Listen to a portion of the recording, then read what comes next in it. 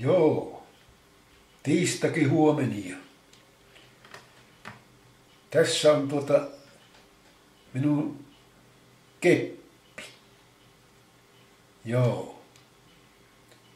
Ja tuota, minä en, en muista milloin minä nämä kepit hankin. Kyllä ne kymmenen vuotta on jo. Ja tuota, niin, tämä kahva, se tuntui aina, että se niin kuin liikkuu. Sitten minä kerran sen aukasin. Ja tuota, ei se, vaikka mä pääsin kuinka tiukalle, niin se, tuota, sinne jäi semmoinen väljyys. Joo.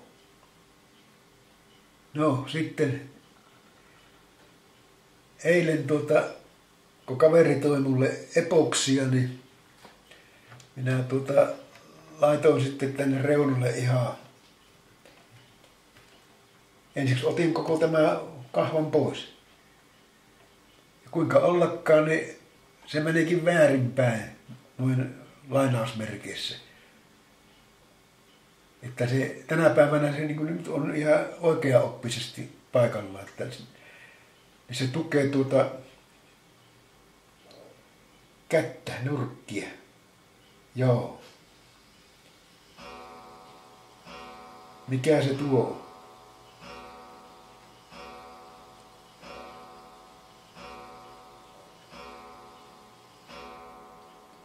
Kylläpä se aika rientää, voi hovaa tavato. Ja tuota, se on tuo epoksi, niin se on kyllä mahtava liima. Viidessä minuutissa kuivuu. Mäntää vaan työntää alaspäin niin kahdesta reunasta pursua koveteaine ja varsinainen liima. Ja ne kun sotkoo keskenään, niin tulee tommonen siisti peinte ja se on, se on kova. Ei liiku ja ei liiku. Ei rassaa minun hermoja ennen. Joo. Se on tämmönen tuolta, tuolta, tuolta. Tämä, tämä.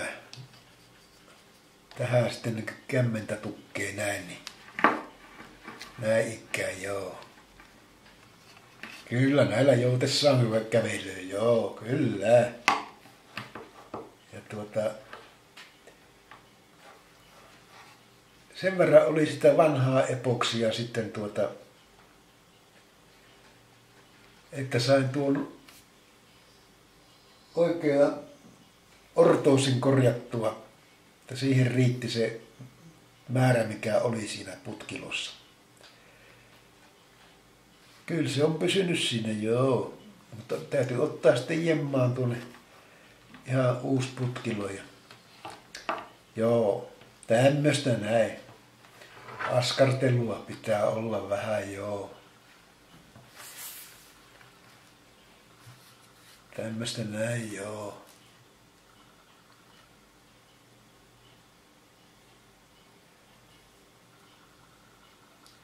Muistan aikanaan tästä jo 20 vuotta aikaa, kun tota,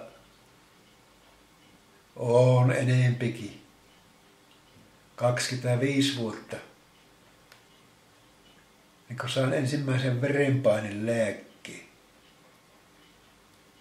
Se on pirun kallis, mutta tuota niin, tuota tuota. Mutta se on kyllä hyvä.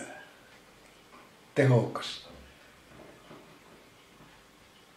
Yksi eukko tuota niin, miehensä kanssa kaupulla ja se mies sitten käytti sitä kanssa samaa lääkettä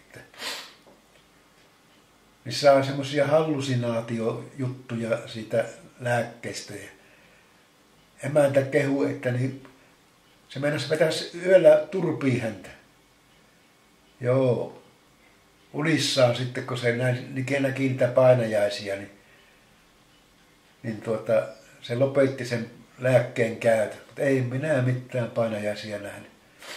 Mutta sitten toinen lääkäri, kun sitten sanoi, että tuota, niin siltä lääkkeestä on patenttisuoja loppunut, niin tuota, sama vaikuttava aine, niin saat paljon halvemmalla.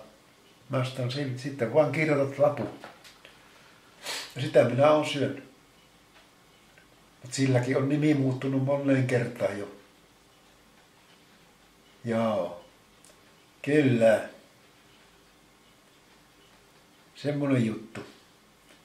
Tämmöisiä päiväkirjamerkintöjä.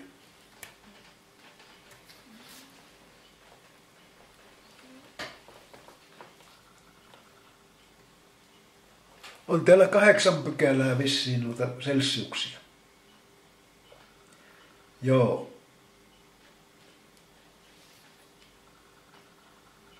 En minä ole aikanaan kiinnittänyt ollenkaan tähän systeemiin, että tämän voi niin kuin tämän kahvan irrottaa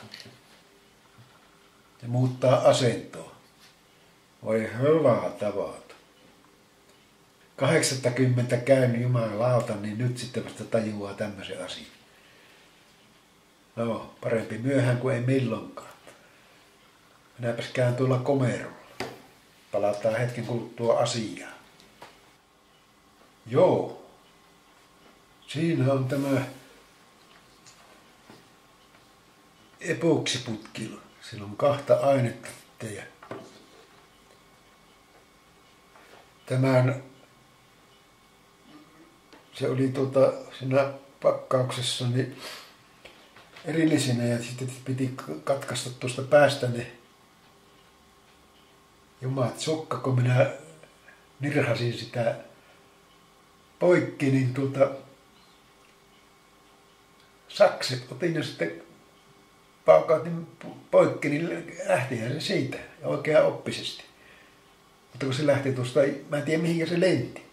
Harmaata on vielä, niin se pitäisi tuota, löytää tuota jostain lattialta. Kun se on samaan värinen kuin lattia, niin siinä voi kepi alle vahingossa painaa, niin silloin lähetti. Voi vaataa vaato. Joo. Kyllä. On se semmoista, joo. Että tämmöisiä päivämerki, päiväkirjamerkintöjä nyt tänä aamuna, joo. Joo. Siinä on tämmöinen viritys. Se on kanssa kestänyt hyvin, kun tuota rautalankapunos on siinä ja tuota, sitä epoksia.